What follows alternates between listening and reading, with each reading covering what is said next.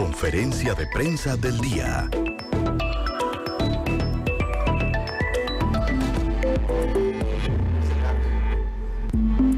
Si quiere pasar adelante, Silencio, por favor. Por favor. Silencio. Silencio. Bienvenidos a la conferencia de prensa de Pelando el Ojo. Estamos en vivo en Radio Monumental, 5 de la tarde, 23 minutos. Yo soy Mario Alfaro, productor artístico. Señor presidente, bienvenido. ¿Cómo le va, señor don Mario? Felicitaciones. Lo felicito por su trabajo. Muchas gracias. Me le da campo a la señora ministra, Ana Catarina Müller. Ay, Ana Ministra de Educación. Que pase. Muy Ministra. buenas tardes, chicos y chicas. ¿Cómo están? Bien, gracias. Bueno, aquí voy a estar por cualquier pregunta para contestar. Muy elegante tu abrigo, me gusta. Muchísimas gracias. Vamos a iniciar rápidamente, Glencito, el inalámbrico, Glen Montero. Vamos rápidamente con las preguntas acá en la cabina, después venimos con los oyentes. Gira, gira, gira la tómbola, dice por acá Chito Mantos, mire qué sorpresa. Hoy no vino, señora. No vino Camelia Llanta, entonces mandó a Don Chito Mantos con la pregunta. Muy estricto. sí. Adelante, Don Chito. Eh, ¿Qué tal? Gracias por darme la oportunidad de participar en esta conferencia de prensa. La pregunta que le tengo a usted, presidente, es la siguiente. ¿Y para qué le me dice? Entonces no la tiene. La pregunta es la siguiente. Primero que todo es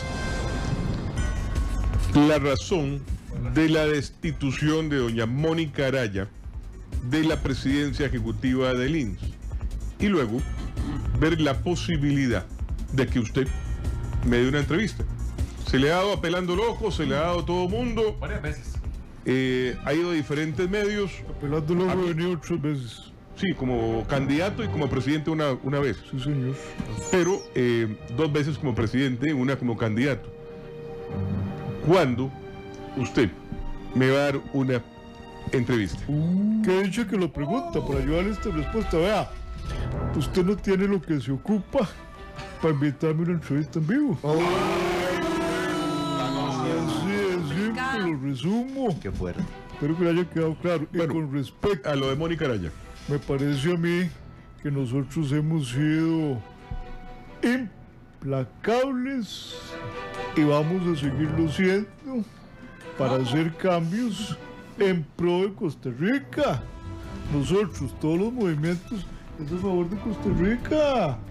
No creo que es para quedar bien o para quedar mal, como otros que dan puestillos y habían prácticas Prácticas. me parece a mí poco transparentes. Yo he sido muy transparente y lo vamos a seguir siendo. Muchas gracias. Gracias, señor presidente. Continuamos con más preguntas acá en la cabina de Radio Monumental. Esto es la conferencia de prensa de Verando el Ojo. Vamos con la siguiente. Dice, no vino hoy tampoco doña Yenane Villanueva, pero mandó a su compañera doña Patricia Figueroa. Patricia, bienvenida. Hoy que se tomaron vacaciones todos. No vino doña Camelia, no viene Yenane. ¿Pero qué pasa? Hola, muy buenas tardes. Patricia Figueroa Muy guapa, les saluda. Muchísimas gracias. La pregunta, aprovechando la presencia de la ministra de Educación, doña Ana Catalina Müller, Müller. la pregunta es la siguiente. ¿Cuáles son los pasos clave y los... ¿Cuáles son los pasos clave y los desafíos potenciales en la implementación efectiva de programas de educación financiera en las escuelas y cómo podemos garantizar su éxito en el desarrollo de habilidades financieras sólidas? Eh, no la lea, no la lea mejor acá la pregunta más fácil. Es que La pregunta, ¿cuál es? bonita. Bueno, hablemos de los pasos clave y también de los desafíos, doña Ana Catalina Müller. Venga, ministro, venga. Venga, responde. Muy buenas tardes, chicos y chicas. ¿Cómo están otra? Más duro. Parece que no desayunaron, chicos. No, claro que sí. Maduro. Almorzamos. Bueno, chicos, yo creo que la educación financiera es algo sumamente importante para la sociedad. Cuando ustedes estaban pequeños, ¿qué hacían cuando les daban 500 colones? Estaban confites. Lo gastamos. Gastaban. No tenían esa conciencia de vamos a ahorrar Un choco ¿Vamos a guardarlo para después o vamos a comprarnos algo que ocupamos, verdad, chicos? Ah, Pero ahora vamos a llegar a las escuelas para que los chicos y chicas sepan ahorrar, ah. sepan manejar su dinero. Qué bien. Y eso lo van a llevar a sus hogares. Porque hay muchas familias, madres y padres, papitos y mamitos, que no saben ahorrar tampoco. Entonces, ¿qué es lo que pasa? Que a los chicos les enseñan a hacer lo mismo, están con deudas, enredados y con mal humor. Entonces todo se basa en la felicidad. Vamos a llegar a cada escuela y vamos a hacer un cambio por Costa Rica. Y para que se le quite el mal humor, se escuche pelando el ojo todos los días. Así la. ¿Y cómo podemos ¿Y eso qué tiene que ver con la pregunta? su éxito en el desarrollo de Vamos con la siguiente pregunta. No ahorre, pero escuche pelando el ojo. Gaste la plata como le da gana. pues. Pero escuche pelando los estudiantes. ¿Vas a ver con eso? Patricia. Ya la terminé. Vamos con la siguiente. No, este sí vino. Pastelito, Sí, mi chiquito, su no pregunta. Sin leerlo. No le lea. voy a meter esa- De por sí, voy a meter esa pregunta en el referéndum. de por sí ni la tengo, ¿no? Es que me, le- se la presté a, se la presté a Patricia, mi chiquito. Mi chiquito. A ver, mi vida rápido. A ver, sigo yo. Mi- este, mi chiquito. Buenas tardes, mi chiquito. Sí, hola. Sí, Así- su así era casa la es mi pregunta. casa. Y va a seguir. En el iPad.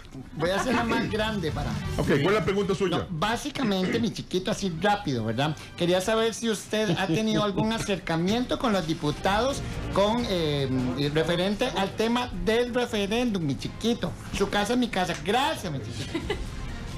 Pero ¿cuál es la pregunta? Disculpe. Si ha tenido algún acercamiento con los diputados con, el- con relación al referéndum, mi chiquito. Y apenas como tres horas el día que fui ahí a la Asamblea Y Legislativa. lo han apoyado, mi chiquito. Sí, muchacho, pero acabo de ir. El primero, el 2 de mayo acabo de ir. Es 8 de mayo ya. ¿Cómo? Di un discurso como de Cuatro horas y Como media. el- No, tres horas. hora y media No, sí. y les llamé la atención. Ese ha sido el acercamiento que hemos tenido para intentar que se convenzan y que me eviten hacer el referéndum. Todavía están a tiempo. Y no lo tomen como una advertencia, sino es porque es, es real. Señor presidente, hay una réplica, hay una réplica de pastelito, dígame mi vida. Sí, mi chiquito, quería preguntarle si ya tiene la pregunta concreta del referéndum. ¿Y cuál sería, mi chiquito? Ya está lista. ¿Cuál es? ¿Ya la tiene? ¿Ya la tiene redactada, presidente? Estimados costarricenses, porque hay que saludar. Damos recogido. Pero en un referéndum. Dice, En la papeleta va hay que, a saludarlos. hay que empezar con cortesía. Bueno, Yo usted sabe que yo soy economista, yo no sé mucho de... economice palabras. Estimados costarricenses, aquí la ministra me va a ayudar. A Yo, sé- yo le revisé la ortografía. Ok. El punto y coma y todo. ¿Correcto? Muchos giros. Estimados costarricenses, dos puntos. ¿Correcto? Está, o están, no, mejor en plural, No, porque Mejor. tiene que ser la persona que va a votar. Tiene que ser en singular. tenés razón. Primer Está, error, ministro. No, no, no lo está corrigiendo. Eh, yo se lo paso así en bruto y usted lo, lo acomoda. bruto ya, ya se sabe, pero vamos a... Yo se lo paso así, que importa. ¿Cuál es la pregunta, presidente? No, pero es que ya está revisado. Ah, ya vamos está a, Vamos a revisado. ver cómo Pásele el original o el borrador. Hacerlo así, al que me acuerde. Ok. ¿Está usted de acuerdo, coma, En que se aprueben las jornadas 4 por 3 en todos los trabajadores del sector productivo costarricense? Y cerramos en esta pregunta. Sí, me pregunta que nunca lo Esa es la pregunta. Nada más. digo, no importa. Pero sí, hay que ponerle humor. Tanta plata. Había, no, ya no he puesto punto a hoy con la, la segunda parte. Punto Ah, A. coma. Está. No puse aparte. Sí, No se Ah, puede ok. poner punto después del signo es cierto, no se puede. No me ruegues. Me estás saboteando. Yo jamás. Me estás saboteando. ¿Está usted de acuerdo en que se venda el Banco Costa Rica? Abro paréntesis, BCR. Ajá. Cierro paréntesis. Ok. Conocido como. En el cual a los trabajadores se les va a contratar en otra institución, cualquiera que sea, pues se les va a contratar. Cierro signo de pregunta que nunca abrí. No había pregunta ahí, era No, paréntesis. sí, tenía que abrirlo. En cada una de Sí. Sí. Ah, eh, ah, ok. A Ya ver, entendí. Ahora sí hablo eh, signo de pregunta. Ajá. Correcto. ¿Está usted de acuerdo en que se construya la ciudad gobierno, coma, en la cual, coma, se va a ahorrar el país miles de millones de dólares en un plazo de 20 años que vamos a pedir refinanciamiento? ¿Sí o no? Sin mi pregunta. está de acuerdo con la Copa Patrick, nada más. Esa es la pregunta para el Esa es referéndum. la pregunta. Muy bien. ¿Me las puedes repetir, mi chiquito?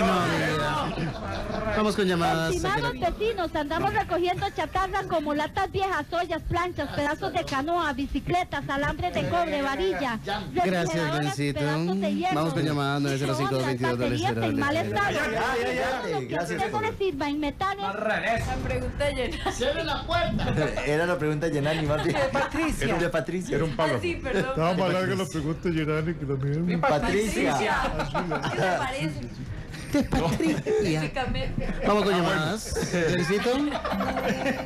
¿Tenemos llamada? Tenemos llamada. Adelante, le escuchamos. Está la conferencia de prensa pelando luego está el señor presidente, también Ana Catarina Müller. Dele, a ver. Adelante, le escuchamos. Su Muy buenas tardes, y señor presidente, Sí, señor. entre varios grupitos estamos organizando a ver si podemos recoger las firmas por referéndum en el Parque Central de San José. Otra cosa, ¿usted cree que tal vez se apruebe un referéndum para la pena de muerte para políticos y funcionarios corruptos? Nosotros hemos planteado la pregunta. Esa es. Sí, pero lo de la pena de muerte, eso Eso no. no, no está contemplado, no lo hemos analizado y no lo vamos a analizar. Ok. Simplemente. No lo vamos a analizar. No le da la gana. La pregunta está. No le vamos a agregar más. Reciba la siguiente llamada, señor Dele, a ver. Adelante. Sí, buenas, para saber si ese aceite que promociona no tiene un aceite tipo meltroso. ¿Qué es? No, no, no, no entendí. No. No entendí. Vamos con eh, otra llamadita 905-222-0000. Está Ana Caterina Müller y el señor presidente en la conferencia de prensa de Peleando al Ojo. Aceite mel- Ah, Cállate. Adelante, lo escuchamos.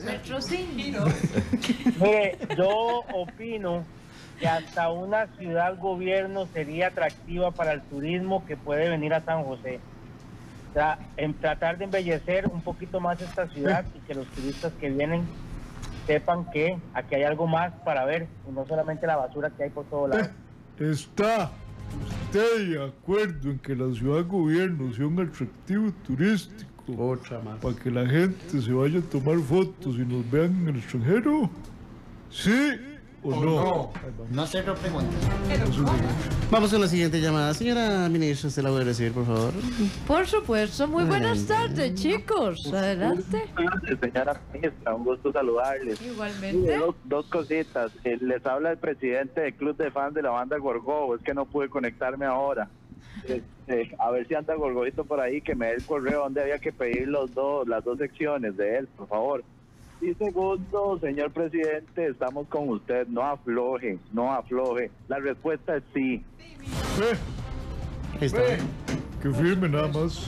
Gracias, señor presidente. Vamos con la siguiente llamada acá en Pelando el Ojo de la conferencia de prensa 905-222-0000. ¿Cuál es su pregunta? Adelante. Sí, buenas tardes. Bienvenido. Una pregunta, doctor. Cuando construyeron la Asamblea Legislativa no tuvieron problemas, pero ¿por qué con este nuevo proyecto de Ciudad Gobierno sí le pusieron trabas? ¿Cuál es la diferencia entre los dos? De diste en el clavo que va a ser la diferencia. Que esto lo está proponiendo Rodrigo Chávez Robles. Y que probablemente. Bueno, le- por eso entonces, si- usted está tan seguro de eso, sí. eh, ¿por qué no me permite mañana entrevistarlo aquí en Pelando Tiene razón, tiene Sí, razón, tiene ¿ah? razón. Así hablaremos de algunas cosas de Ciudad Gobierno y la oposición que tiene en este momento la Contraloría General de la República respecto a este proyecto donde hay, según la Contralora, algunas cosas que no están claras, señor Vea, presidente. cuando usted Entonces tenga- yo lo invito a que mañana, que es jueves, hagamos una entrevista aquí, en Pelándolo Justo y yo. Jueves. Y yo lo entrevisto y le parece, y le hacemos bien, bien interesante, donde tocaremos puntos importantes como ese que acaba de decir el señor presidente. Respetuosamente le voy a contestar. Cuando usted tenga lo que se ocupa para hacerme una entrevista en vivo, le concedo la entrevista. Uh.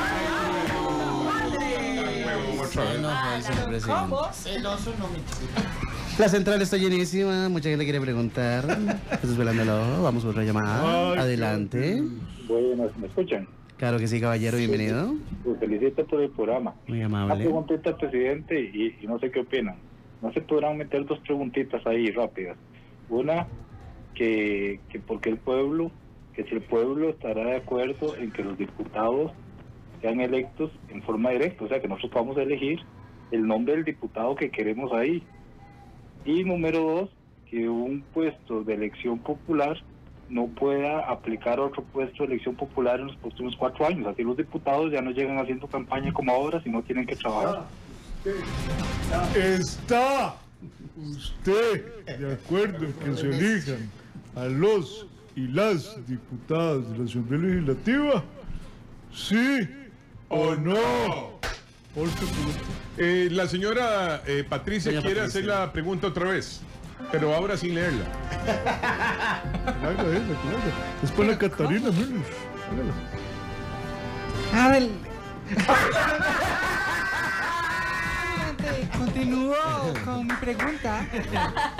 Adelante, doña Patricia. A ver, a ver, Patricia. ¿Cuáles son los pasos claves y los desafíos potenciales en la implementación efectiva de programas de educación financiera en las escuelas y cómo podemos garantizar su éxito en el desarrollo de habilidades financieras sólidas en los estudiantes? Oiga, dos reglones más y me empatan el, en el discurso mío el, el primero. Gracias, señor presidente. Doña ministra, doña Ca- Catarina Müller. Señora ministra. Nos vamos. Esta es la conferencia de prensa de Pelando el Ojo. Tenemos más temas. Adelante, Cristian. Yo soy Mario Alfaro. Nos vemos. Chao, hasta luego.